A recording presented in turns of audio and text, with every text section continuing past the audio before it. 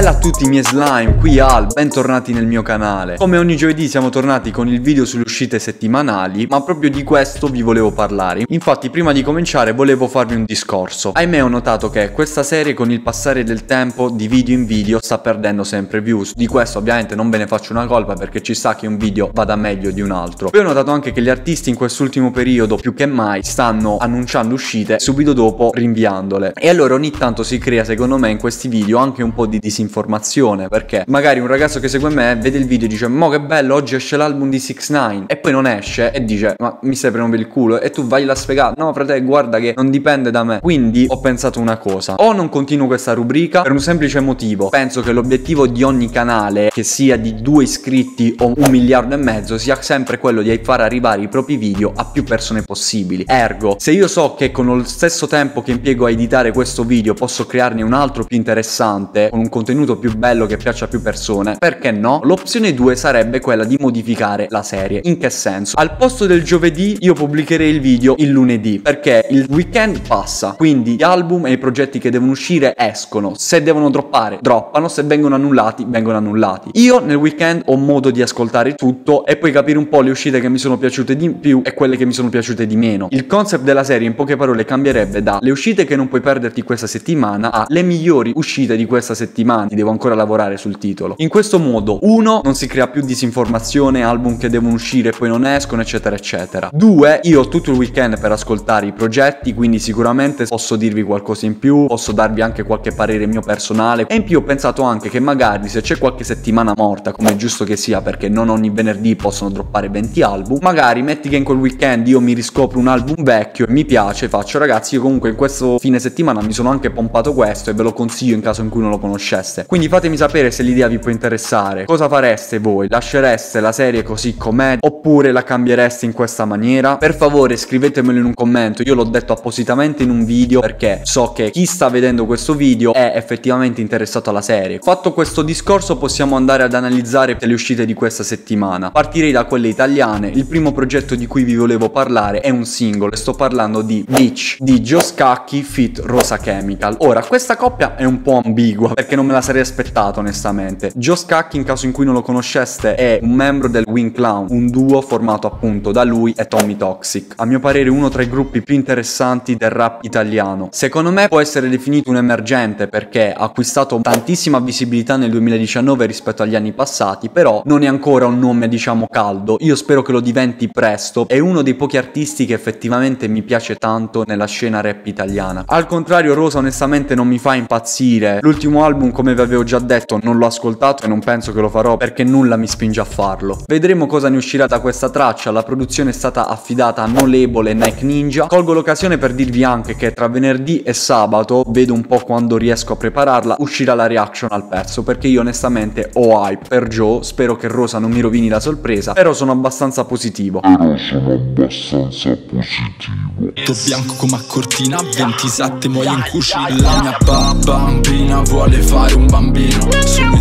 Strada 23 a che un'ora ho dormito. Sto al settimo giro a dodicesimo chilo.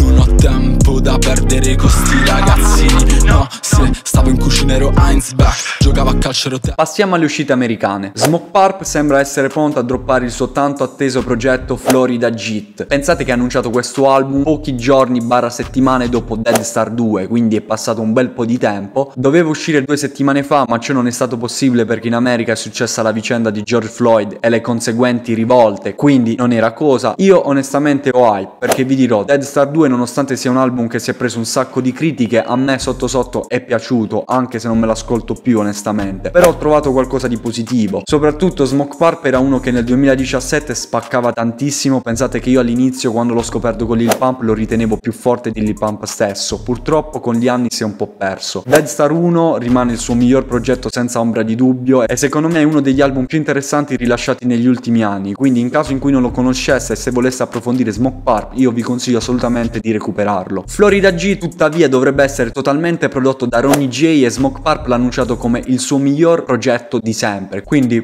Boh, spero di sì. Questa cosa non mi convince perché quando i rapper americani se ne escono con queste uscite, ogni tanto sento un po' puzza di merda, onestamente. Però staremo a vedere. Il secondo progetto di cui vi voglio parlare, probabilmente quello per cui ho più hype, è una Deluxe Edition. E sto parlando della Deluxe di The Life of Pierre 4 di Pierre Bourne. Ho particolarmente hype perché l'album originale mi è piaciuto tantissimo, è uscito nel 2019 e rientra nella mia top 10 personale degli album di quell'anno. La Deluxe ha annunciato che sarà composta da 15 tracce in inedite, quindi anche lui segue il trend di Liluzi Vert, come accennavo nel video reaction della seconda parte del tape di Tedua, ovvero quello di pubblicare un album e subito dopo, anche se in questo caso è passato un anno, una deluxe edition, ma che è praticamente un secondo album. Se ne avete sentito parlare di lui, molto probabilmente perché è il producer di Carti e come producer è uno dei migliori nella scena rap americana e anche come rapper devo dire che non mi dispiace, secondo me è abbastanza underrated, l'anno scorso ha droppato un bell'album che purtroppo non ha avuto le attenzioni che si meritava. Questo album in un certo senso ti butta nel viaggio di Pierre, molto chill, molto wavy e secondo me è un album perfetto da ascoltare quando ti vuoi rilassare un po'. Il disco originale è composto da 16 tracce e non c'è nessun feat. Chissà se in questa deluxe edition ci sarà qualche feat, magari qualche pezzo con Carti, sarei super curioso anche perché hanno un sacco di inediti fortissimi. Comunque sia, staremo a vedere. L'ultimo progetto di cui vi volevo parlare è un'altra deluxe edition, sto parlando della deluxe di Artist 2.0 di A Boogie with the Woody. Ora non mi va di che pare, quindi vi dico molto onestamente che io l'album originale non l'ho ancora ascoltato perché onestamente non ho mai avuto la curiosità di vedere effettivamente come sia. Anzi chiedo a voi se l'avete ascoltato, se vi è piaciuto, se secondo voi vale la pena recuperarlo. Diciamo che lui è un artista che preferisco in alcuni feat e in alcune tracce singole. Quando vado ad ascoltare un suo album nel complesso, alla lunga mi stanca. Dopo già 4-5 tracce sento il bisogno di cambiare. Non so perché, molto probabilmente è un problema mio. È già uscito un estratto da questa deluxe, una traccia chiamata Bleed. La cosa interessante di questa traccia è che lui ha dichiarato che avrebbe voluto inserire Pop Smoke, però purtroppo non ha avuto neanche la possibilità di chiederlo perché poi, ahimè, è morto. I due avevano già collaborato comunque nell'album di pop Mid Who 2 nella traccia Foreigner, che secondo me è una di quelle un po' più underrated, ma anche di quelle che merita di più, perché pop lì è micidiale e a Boogie personalmente mi è piaciuto pure. Bene ragazzi, queste sono le uscite che ho selezionato per questa settimana. Scrivetemi nei commenti i progetti per i quali avete più hype. Vi ricordo anche di darmi un'opinione sul discorso che ho fatto a inizio video perché è